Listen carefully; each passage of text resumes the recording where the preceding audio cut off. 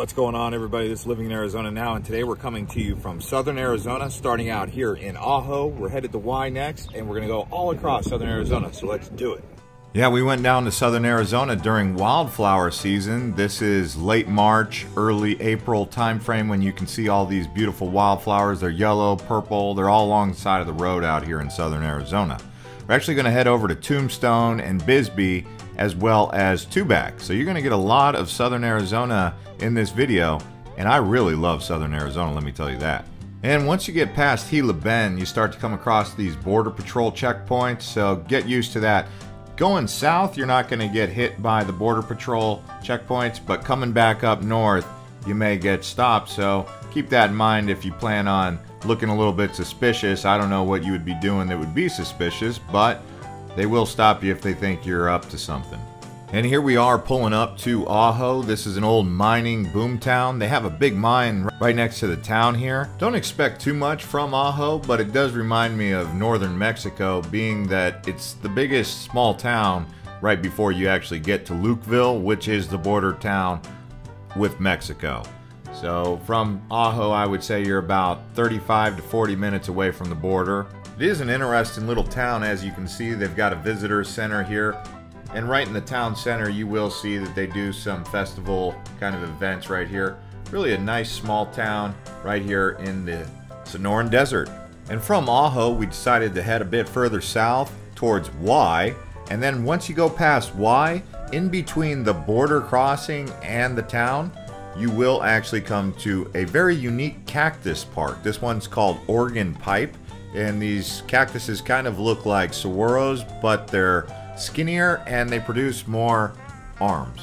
And you can see right here that sign says 30 miles to Mexico, 92 miles to Rocky Point. That's the big ticket in town, that Puerto Penasco, which is Rocky Point. Also, you'll see Oregon Pipe Cactus National Monument, 22 miles, and that's where we're actually headed next. From Why, you're basically headed towards Mexico. But if you wanted to head east a bit, you'd head towards Tucson, crossing through the Tohono O'odham Native American Reservation, which we're actually going to do right after we check out the National Monument. But you can see, look how beautiful the drive is this time of year down towards the Oregon Pipe National Monument and towards Mexico. All right, here we are at Oregon Pipe National Monument. We're going to walk around here and see what's going on with these unique cactuses. One of the things I enjoy doing when I go to these national parks is getting a stamp in my national parks passport book here, and that's what I'm doing right here.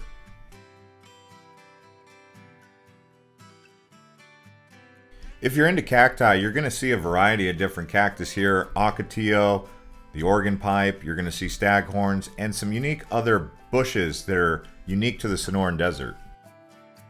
And because we're in that part of the world where we're right along the border, they do have signs saying watch out for uh, coyote activity or human trafficking around this area. We're literally five miles from the border.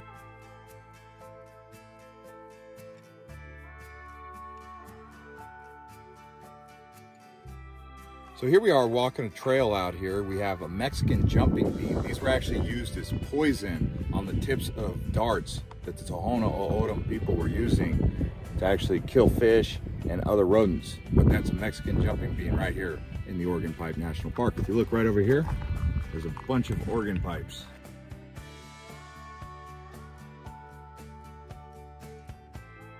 You can see by the sign here, it says tea time, white ratany. is this plant right here.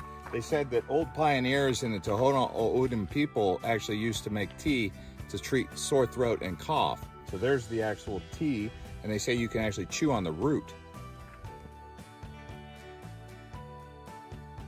So here we are in front of an ocotillo tree. So aside from being in your front yard as decoration and ornamentation, the indigenous people actually used to use it for fences. So they would cut it right down here and then they would stick it in the ground and it could actually take root and start growing again, but it would be a good fence around their house, their pueblo, whatever they have.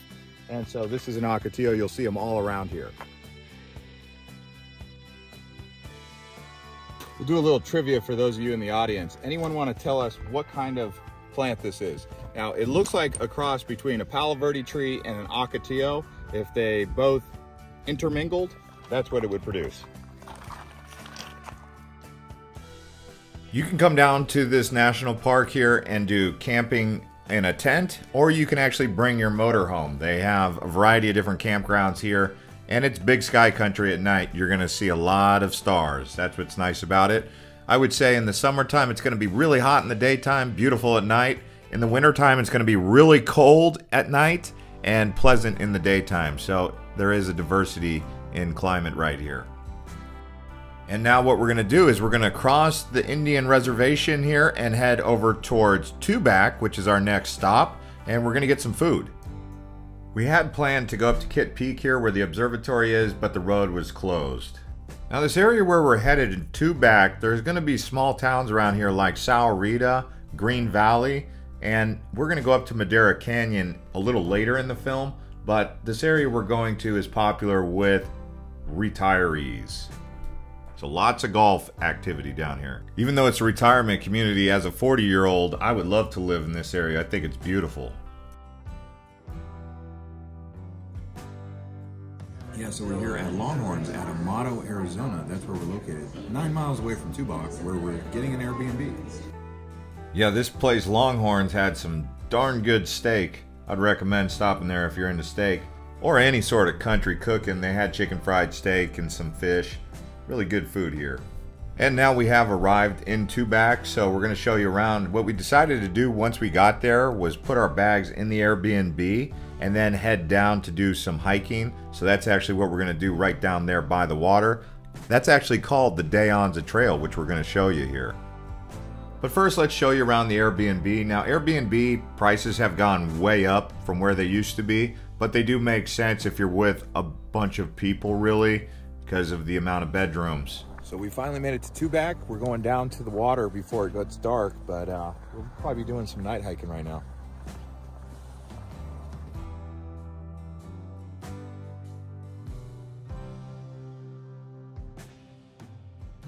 So the big trail down here is called the De Anza Trail. It connects from Mexico all the way through Arizona at Gila Bend. It starts to go towards California and becomes Camino Real. You can see right here, we're on the Anza Trail. I hear an owl. Yeah. There's a bat right there. Really interesting. You hear him? It's an owl.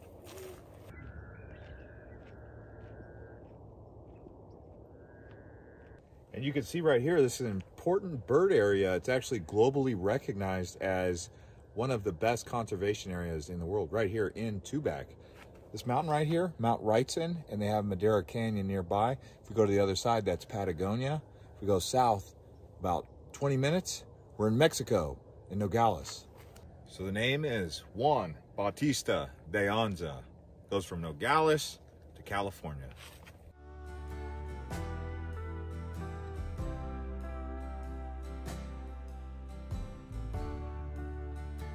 Yeah, so we've decided to come out here at night and walk around Tubac.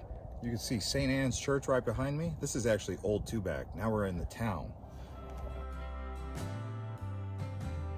By the way, if you guys want, we're going to make a small towns of southern Arizona exclusive video. So we're going to show you all the small towns around this area in southern Arizona. So if you guys want that, drop a comment below asking us to produce it and we will. By the way, do not come to Tubac expecting any form of nightlife. There is basically nothing going on at night. In the daytime, it's really nice to walk around and do some art shopping. It is a nice town, by the way. I'm not saying it's not. It's just don't come down here expecting a party because you're not going to get that here. It's beautiful weather, as you can see. I mean, it was it was probably 67 degrees around 9 o'clock in the morning. Just perfect walking around here. So what we're going to do now is we're going to head over towards Madera Canyon, and then we're going to cross over towards Tombstone and Bisbee, so do stick around for that. But first up, let's go through this Border Patrol checkpoint, and then on to Madera Canyon. Let's see what kind of wildlife's up there.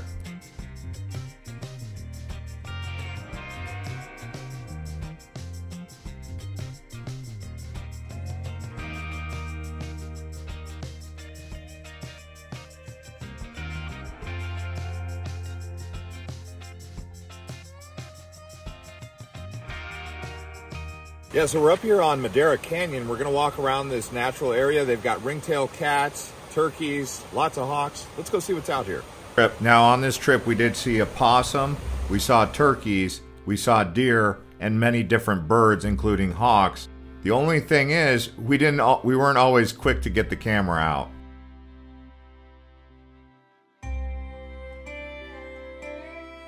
And as we continue to show you around Southern Arizona here, if you guys are new to this channel, you can consider subscribing and liking the video. That helps us a lot because then we produce more cool videos like this. Also, I want to thank the people who have signed up as channel members who are supporting this channel. As a member, you're more likely to get your comments replied to and stand out with questions. So that's a perk of being a member. But just look how beautiful it is out here.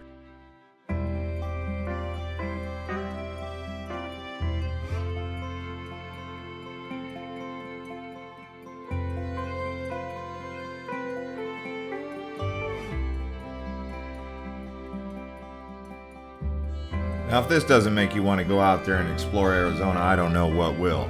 But anyway, now we're on a dirt road here. We're actually crossing over towards Sonoita, which will eventually take us to Patagonia, and then on our way towards Tombstone. This was a bit of a off-road trek, I would say.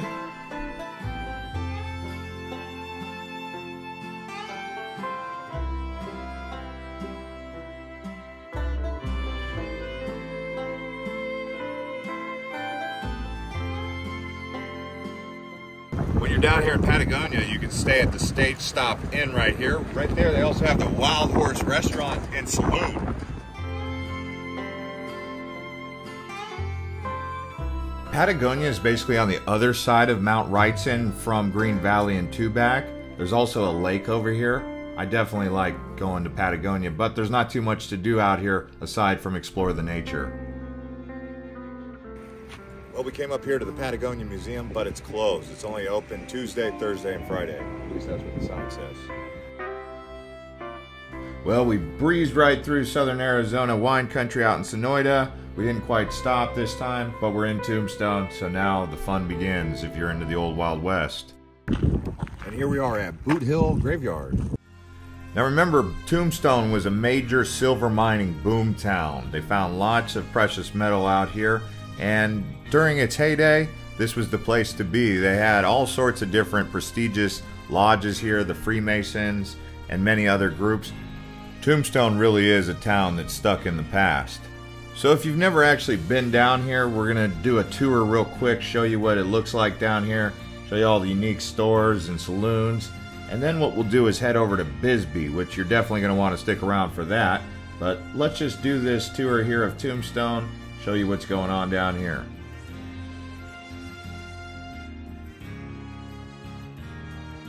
Down in Tombstone, some of the things you'll look forward to doing, checking out one of the gunslinger fights down there at the OK Corral. They also have the popular place that you saw in the movie. They have the Birdcage, Big Nose Kate's Saloon. Definitely check that place out.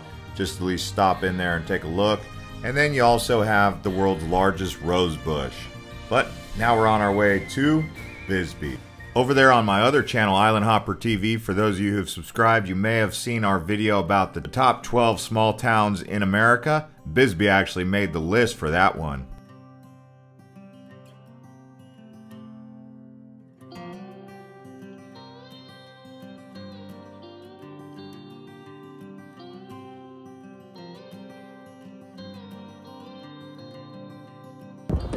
Alright guys, here we are at Bisbee, the old Phelps Dodge mining town. Back in the early 1900s, Phelps Dodge was building a major operation out of here, pulling copper and other precious metals out of the ground here. They have the Copper Queen mine. You can do a tour there. But what we're going to end up doing is just walking up Main Street here, going up the thousand stairs to the top of the hill, and then coming back down. We're also going to get some food.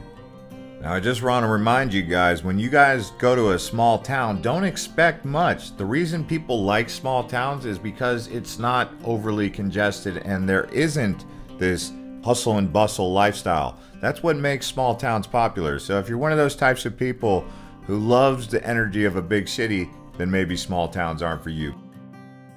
Right here, they got the Bisbee 1000 stairs you can hike up right here. Look at that.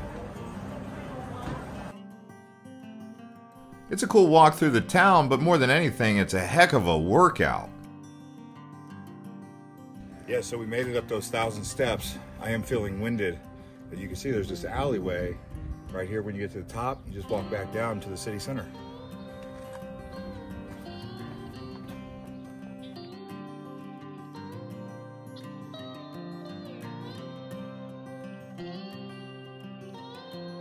Looking for a place to stay while down here, you can go to bisbeegateways.com right here. This is Casa Antigua.